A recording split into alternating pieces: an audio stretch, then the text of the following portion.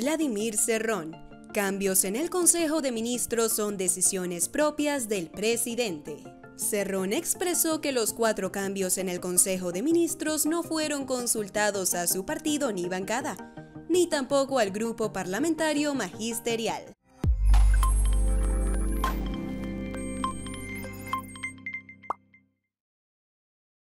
Castillo tomó juramento este domingo por la noche a los nuevos titulares de las carteras del Interior, Desarrollo Agrario y Riego, Energía y Minas y Transportes y Comunicaciones. Dimitri Nicolás Enmache Artola asumió como ministro del Interior en reemplazo de Alfonso Chavarri. En tanto, el parlamentario andino por PL, Javier Fernando Arce Alvarado, juró como ministro de Desarrollo y Riego tras la salida de Oscar Sea. Además, Alessandra Gilda Herrera Jara reemplazó a Carlos Palacios y regresó al Ministerio de Energía y Minas.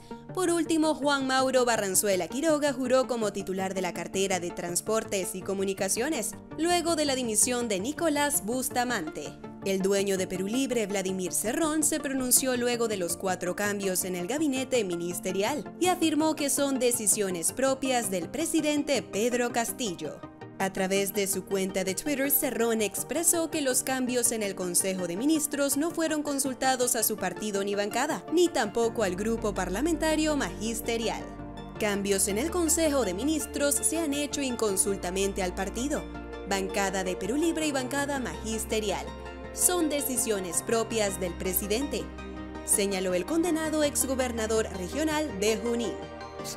Y hablando de Vladimir Cerrón, hace algunos momentos acaba de lanzar dos tweets respecto a lo que sería su posición respecto a esta, digamos, a estos cuatro nuevos ministros. Ojo que él era prácticamente el amo y señor en el Ministerio de Energía y Minas. Vamos con lo que ha dicho. Este es el último así hace apenas algunos minutitos, cambios en el Consejo de Ministros se han hecho, perdón, es el, el, penúltimo, cambios en el Consejo de Ministros se han hecho inconsultamente al partido.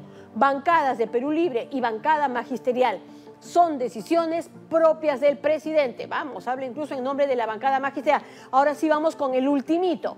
El ultimito dice extrema derechización del sector minero incrementará conflictos del anterior ministro de Energía y Minas, graduada en la Unión de la República Social Soviética, vamos a tiempo atrás, a la actual ministra Alessandra Herrera, pasante en eventos del Departamento de Estado de los Estados Unidos. Bueno, esa es la respuesta de Vladimir Cerrón de lo que, pues donde sentía, como decíamos, prácticamente, se sentía prácticamente dueño de ese ministerio.